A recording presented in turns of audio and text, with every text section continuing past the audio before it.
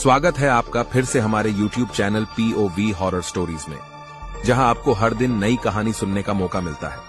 अगर आप हमारे चैनल पर नए हैं तो और अभी तक आपने हमारे चैनल को सब्सक्राइब नहीं किया तो कर लें, जिससे हमारी और भी डरावनी और दिलचस्प कहानियाँ आप सुन सके। यह कहानी एक ऐसी जगह की है, जहाँ सूरज डूबने के बाद कोई भी जाता है तो वो ज़िंदा वापस कभी नहीं आता। वहाँ आस पास रहने वालों का कहना है कि उस जगह पर एक डायन है और गलती से भी अगर किसी पर उसका साया पड़ गया तो उसे कोई नहीं बच सकता। वहाँ रहने वाले लोग उस जगह को डायन कोट के नाम से जानते हैं। डायन कोट में सूरज डूबने के बाद कोई जानवर भी गलती से नहीं जाता, क्योंकि वहाँ रह रही डायन को ये बिल्कुल भी नहीं पसंद कि कोई उस डायन कोट में आए।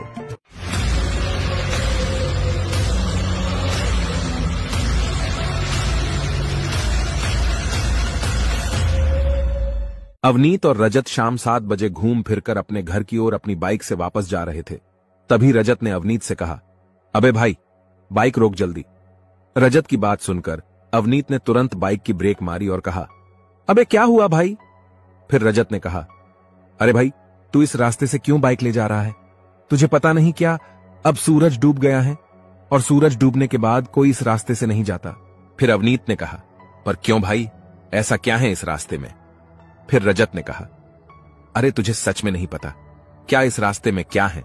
फिर अवनीत ने कहा, भाई, तुझे तो पता ही है। मैं दस साल बाद कल ही तो गाँव आया हूँ तो मुझे कैसे पता होगा? अवनीत की बात सुनकर फिर रजत ने कहा, अरे यार, तुम लोग भी शहर चले जाते हो? फिर गाँव के बारे में सब भूल जाते हो? फिर रजत की बात बीच में ही काटते हुए अवनीत ने कहा, अरे भाई, ज्ञान मत पेल और सही से बता कि क्यों नहीं जा सकते अभी यहाँ से? फिर रजत ने कहा भाई तू मुझे बोलने देगा, तभी तो बताऊँगा कुछ। फिर अवनीत ने कहा अच्छा चल, अब बीच में कुछ नहीं बोलूँगा।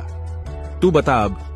फिर रजत ने बताते हुए कहा तो सुन भाई, जब हम सुबह इस रास्ते से जा रहे थे तो तूने देखा ही होगा कि इस रास्ते में पूरे में पाँच किलोमीटर तक जंगल ही है। बस पर जब हम उस जंगल के एकदम बीच, यानी यहाँ से दो किलोमीटर आगे एक ऐसी जगह है, जो तूने भी आते समय ज़रूर देखी होगी।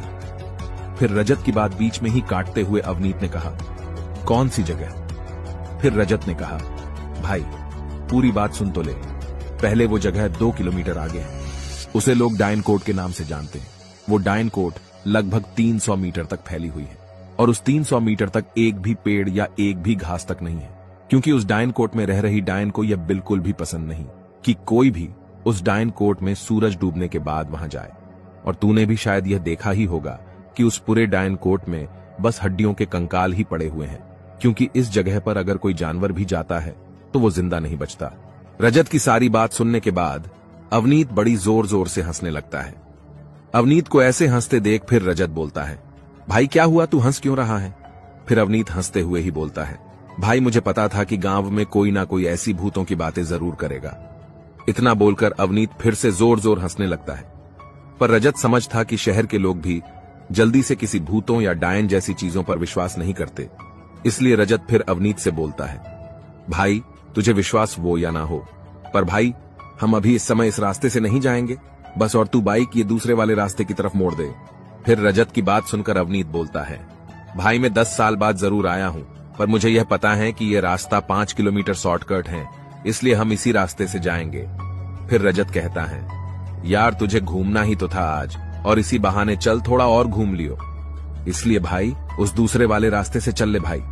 इस बार अवनीत रजत की बात मान जाता है और बाइक दूसरे रास्ते की तरफ़ मोड़ देता है। फिर उसके बाद दोनों उस दूसरे वाले रास्ते से जा ही रहे थे।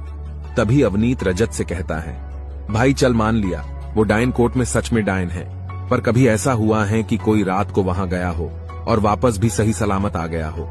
अवनीत की बात सुनकर फिर रजत ने कहा हाँ भाई, वापस तो आया है, पर सही सलामत नहीं आया। फिर अवनीत ने कहा, कौन आया है? और उसके साथ ऐसा क्या हुआ जो तू बोल रहा है कि सही सलामत नहीं आया? फिर रजत ने कहा, तू बिरजेश को जानता ही होगा। फिर अवनीत ने कहा, कौन बिरजेश? अवनीत की बात सुनकर फिर रजत बोलता है, अरे वही बिरजेश जिसे बचपन में सब नागिन बोलते थे। अब याद आया कुछ। फिर अवनीत ने अपना सर खुजाते हुए कहा हाँ हाँ वही ना, जिसकी हमेशा नाक बहती रहती थी। और सब बोलते थे कि नागिन का जहर निकल रहा है, इसलिए सबने बाद में उसका नाम ही नागिन रख दिया था। फिर रजत बोलता है हाँ वही नागिन। फिर से रजत की बात बीच में ही काटते हुए अवनीत ने कहा, वही नागिन वहाँ से वापस आया था, पर वो अभी सही है या नहीं? फिर रजत ने कहा, ना यार, वो अब बिल्कुल सही नहीं है। उसकी अब ऐसी हालत हो गई है कि कोई उसे नहीं पहचान सकता। बहुत बुरी हालत में है। वो अब पर कोई क्या करे? सबने उसे उस रास्ते से रात में जाने से मना करा था। पर उसने एक शर्त के चक्कर में अपनी पूरी ज़िंदगी बर्बाद कर ली। उसकी शादी भी होने ही वाली थी। पर उसकी ऐसी हालत होने की वजह से उसकी शादी भी टूट गई। पर अब हम क्या कर सकते हैं? फिर रजत की बात खत्म होते ही अवनीत बोलता है। पर उसे हुआ क्या है? तू बार बार बस यही बोल रहा है कि उसने अपनी ज़िंदगी बर्बाद कर ली। पर उसके साथ हुआ क्या है? यह भी तो बता। फिर रजत बोलता है। तो सुन भाई यह बात आज से लगभग एक साल पहले की ही होगी। उस दिन शाम के समय जब हम चार पाँच लड़के गाँव के चौराहे पर बैठे मस्ती कर रहे थे, और नागिन भी उस समय हमारे साथ में ही था। पर बातों ही बातों में उस डायन कोट की बात छिड़ गई। पर उस बातों नागिन का कहना था कि डायन कोट में कोई डायन वायन नहीं रहती। इसी बात में काफ़ी देर तक जब बहस चलती रही, तभी हमारे ही गाँव के राहुल ने नागिन से कहा, नागिन, तू नहीं मानता ना कि उस डायन कोट में कोई दया नहीं है? फिर नागिन ने कहा न मैं नहीं मानता और ना ही मुझे ऐसी की भी बात पर विश्वास है। फिर राहुल ने कहा, चल आज देखते हैं। तेरे अंदर कितनी हिम्मत है। अगर तू आज रात आठ बजे उस रास्ते को अकेले पार कर लेगा, तब हम मानेंगे कि तू सच में हिम्मत वाला है। हम सब वहाँ बैठे बैठे दोनों की बातें सुने जा रहे थे और हमें बस यही लग रहा था कि दोनों बस मज़ाक कर रहे हैं और कुछ नहीं। पर फिर नागिन ने कहा, ठीक है, मैं आज जाऊँगा, पर मुझे क्या मिलेगा? फिर राहुल ने कहा, चल, ठीक है। फिर लगी दो हज़ार रुपए की शर्त। अगर तू उस रास्ते को पूरा पार कर गया तो मैं तुझे दो हज़ार रुपये दूँगा। मगर तू उस रास्ते अगर वापस आया तो मैं तुझे दो हज़ार रुपये दूँगा। फिर नागिन ने कहा हाँ चल, ठीक है। लग गई शर्त। नागिन तुरंत उसके बाद जाता है। पर हम सब उसे बार बार जाने से मना कर रहे थे कि, भाई, मत जा मत जा। क्योंकि हमने पहले भी कई लोगों वहाँ जाकर मरते हुए देखा था। इसलिए हम उसे मना करें। जा रहे थे, पर वो हमारी बात नहीं मान रहा था। फिर उसके बाद जैसे ही रात के आठ बजे, वैसे ही हम सब उस रास्ते के पास पहुँच गए। फिर उसके बाद हम में से दो लड़के तुरंत बाइक से रास्ते के आखिर में खड़ी हो गए, जहाँ से मैंने अभी तुझे जाने को मना करा था। दो लड़के तो वहाँ चले गए, पर तीन लड़के अभी भी नागिन के ही साथ खड़े थे। तभी राहुल ने नागिन से कहा, भाई, ले बाइक पर तुझे कुछ होगा तो उसमें मेरी कोई जिम्मेवारी नहीं होगी। फिर राहुल की बात खत्म होते ही मैंने कहा भाई नागिन, एक बार और सोच ले दो। हज़ार रुपये से कुछ नहीं होता। फालतू में तू खतरा मोल ले रहा है। फिर नागिन ने कहा, भाई तू चिंता मत कर, मुझे कुछ नहीं होगा। फिर उसके बाद नागिन ने राहुल से उसकी बाइक की चाबी ली और तुरंत बाइक स्टार्ट करके निकल गया। पर हम जो तीन लड़के जो वहीं पर रुके थे, हम वहीं खड़े खड़े उसका इंतज़ार कर रहे थे कि कहीं वो वापस ना आ जाए। पर लगभग आधे घंटे तक जब वो वापस नहीं आया तो हमने दूसरी ओर खड़े लड़कों को फ़ोन लगाया पर उनका कहना था कि वो अभी तक वहाँ नहीं पहुँचा है। हमने जैसे ही यह सुना तो हम काफ़ी घबरा गए, क्योंकि वो रास्ता मुश्किल से 20 मिनट का ही होगा, और हमें उस समय कुछ समझ में भी नहीं आ रहा था कि हम क्या करें। पर तभी हमने सोचा कि अब हमें उन सबके पास जाया जाए, फिर सोचेंगे कि क्या करें। फिर उसके बाद हम तीनों दूसरे रास्ते से होकर अपने बाकी दो दोस्तों के पास जब गए, तब तक लगभग एक घंटा हो गया था। पर तभी भी नागिन वहाँ नहीं पहुँचा था। वहाँ पहुंचकर हमने तुरंत नागिन को फ़ोन लगाया, पर उसका फ़ोन नेटवर्क क्षेत्र से बाहर बता रहा था। और वैसे भी उसके फ़ोन में नेटवर्क होता भी कैसे, क्योंकि वो जिस रास्ते से आ रहा था, वो रास्ता पूरा जंगल वाला था। फिर उसके बाद, जब रात के साढ़े नौ बज गए, तब मैंने सबसे कहा भाइयों मुझे लगता है हम सबको एक साथ वहाँ जाकर नागिन को ढूंढना चाहिए, क्योंकि वो हमारी ही वजह से मुसीबत में फंसा है। फिर राहुल ने कहा अबे तू पागल तो नहीं हो गया है। हमारी वजह से कैसे वो खुद ही हीरो बन रहा था। कोई क्या करे?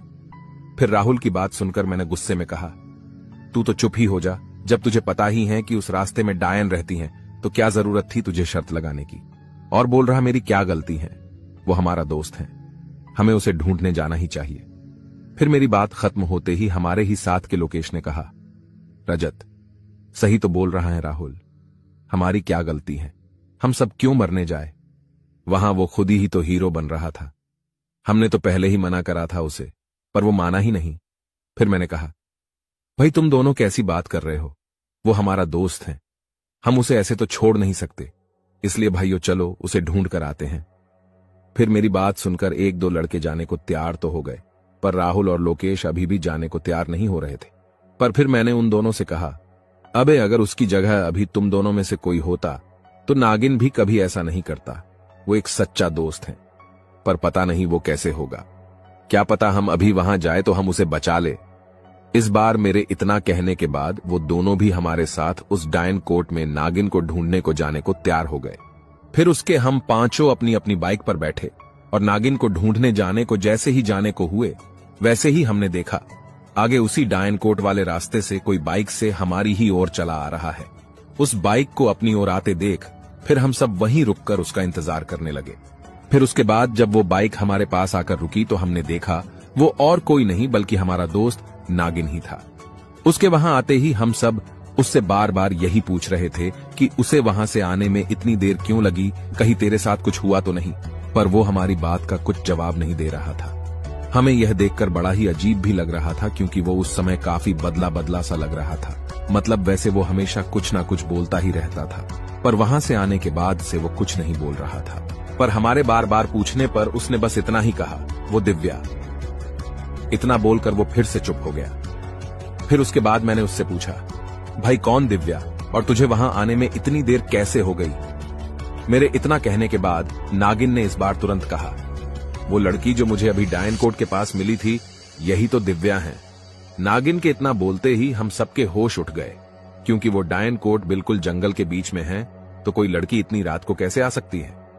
इसलिए फिर मैंने बड़ी ही हैरानी के साथ कहा डायन कोट में कोई तुझे कैसे मिल सकता है? क्योंकि सूरज डूबने के बाद तो कोई उस रास्ते से नहीं जाता।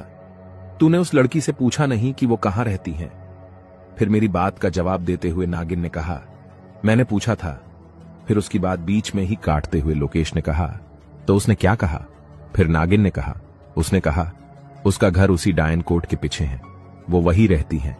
और हाँ, उसे यह भी कहा कि वो उस डायन कोट में रात में घूमती रहती है। पर उसने तो कभी वहाँ कोई डायन नहीं देखी।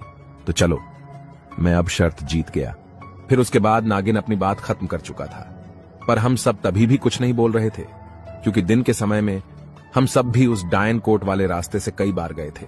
पर हमने तो कभी भी उस डायन कोट के पीछे कोई घर नहीं देखा था।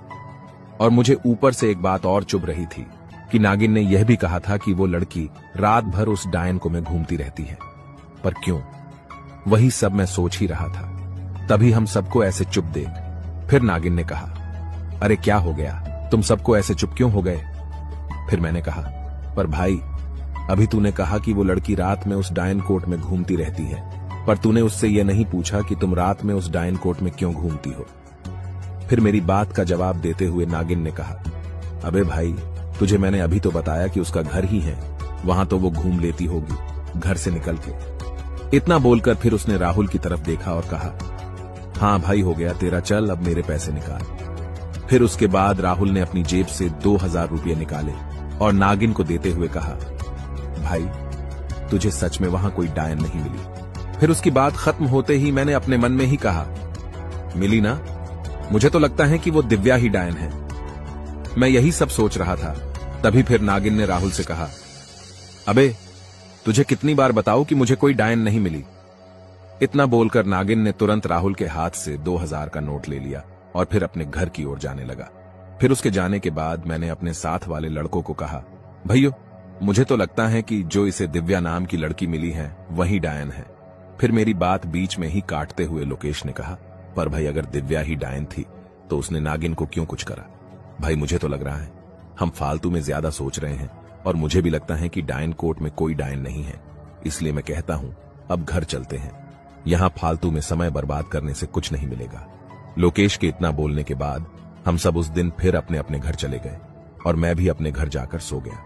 पर अगले दिन जब मुझे नागिन की खबर मिली तो मेरे होश उठ गए। क्योंकि मुझे एक लड़के ने आकर बताया कि नागिन कल पूरी रात तक तो ठीक था, पर जैसे ही सुबह उसके घर वालों ने उसे उठकर देखा तो उनके भी होश उठ गए थे, क्योंकि उन्होंने देखा कि नागिन पागलों वाली हरकतें करें जा रहा है। उसने अपने पूरे शरीर में काट काट कर दिव्या का नाम लिख रखा था। उसके शरीर में एक भी ऐसी जगह नहीं बची थी, जहाँ उसने दिव्या का नाम ना लिखा हो। पर पूरे शरीर में नाम लिखने के बाद भी वो तब भी अपने आप को काट काट कर नाम लिखे जा रहा था। और यही बोले जा रहा था कि दिव्या सिर्फ़ मेरी है। मैं दिव्या के बिना एक पल भी नहीं रह सकता।